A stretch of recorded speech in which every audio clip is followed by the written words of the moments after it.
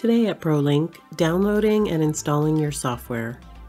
If you are downloading software you recently purchased or downloading software for a 30-day trial, log into prolinksoftware.com and sign in using your email address and password.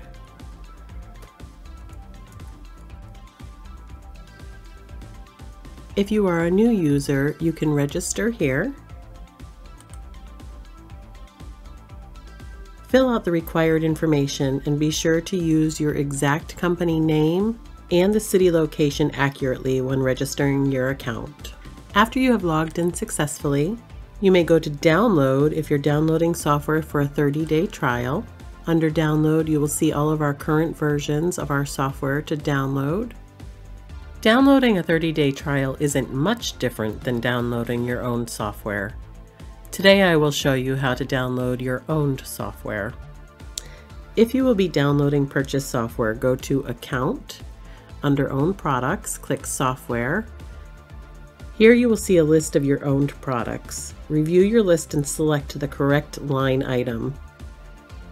Click Details.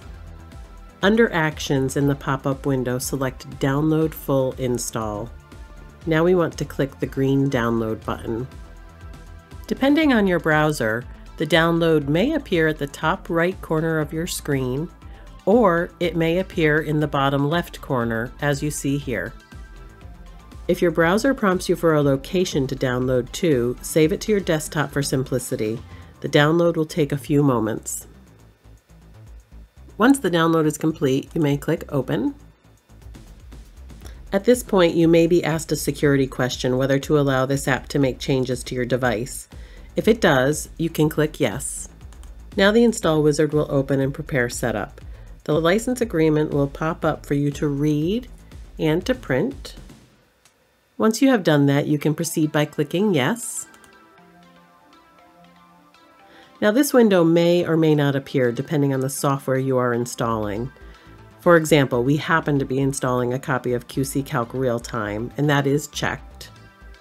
However, if we were installing a copy of Enterprise, both Calc and SPC would need to be checked. If you were installing other software products, for example a copy of SPC Office Buddy, this window would not appear. If it does appear, you may proceed by clicking Next. This will take a moment. Install Wizard will ask if you want to run the program now. You may or may not choose to run the program now, and you may click Finish to proceed. Remember the software icon will be on your desktop now. After finishing, a window may pop up asking if you want to import settings from an older version. If you are just initially installing software or you are installing the latest version, I would click Yes to this question. Your computer may prompt you to restart your computer before using your software. Your software is now downloaded and installed. It is not activated yet.